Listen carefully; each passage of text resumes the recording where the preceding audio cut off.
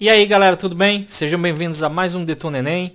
Essa é a terceira questão de Biologia correspondente à questão 4 da prova anulada de 2009.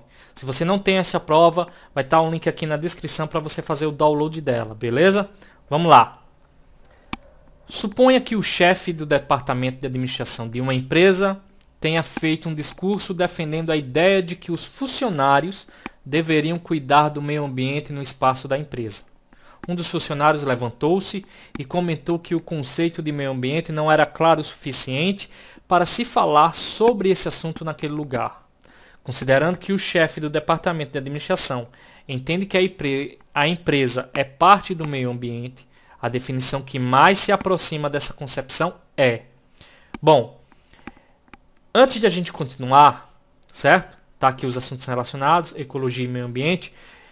E para ajudar a gente, já que são questões comentadas, né, para auxiliar vocês a responder e a entender porque é aquela alternativa, eu vou colocar a definição de meio ambiente segundo um trecho que eu vi lá na Wikipédia e que serve bastante para a gente. Ó. O meio ambiente, habitualmente chamado apenas de ambiente, envolve todas as coisas vivas e não vivas que existem na Terra. Ó, envolve todas as coisas, vivas e não vivas que existem na Terra. Então veja que é uma coisa bem global, né? Ou em alguma região dela, que afetam os ecossistemas e a vida dos seres humanos. Bom, a partir daí a gente já pode ver qual seria a alternativa correta. Eu vou comentando ao mesmo tempo. Ó. Região que inclui somente cachoeiras, mananciais e florestas. Galera, Tomem cuidado com essas alternativas que são restritivas, ó, somente. Só aquela coisinha ali. Geralmente elas são falsas, certo? E obviamente aqui essa, essa alternativa ela é falsa, porque cadê os mares aqui? Não é? As cidades, como por exemplo. Então apenas locais onde é possível contato direto com a natureza, também não. A gente já viu que envolve todas as coisas vivas e não vivas que existem na Terra ou em alguma região dela que afetam os ecossistemas e a vida dos seres humanos. Ó. Tem que estar relacionado tá? com é, os seres humanos.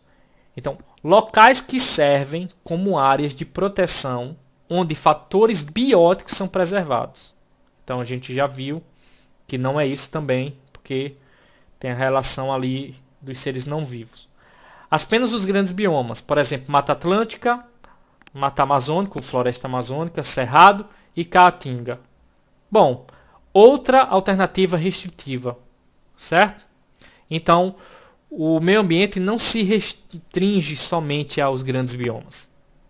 E agora, a qualquer local em que haja relação entre fatores bióticos e abióticos, seja ele natural ou urbano, como por exemplo a cidade, e nesse caso, a empresa ali, não é?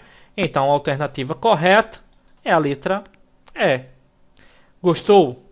Então dá um like, favorita, compartilha. Se você não é inscrito no canal, se inscreve. É isso é bastante importante para o crescimento do canal. Então, é isso aí, galera. Um grande abraço e até a próxima. Valeu!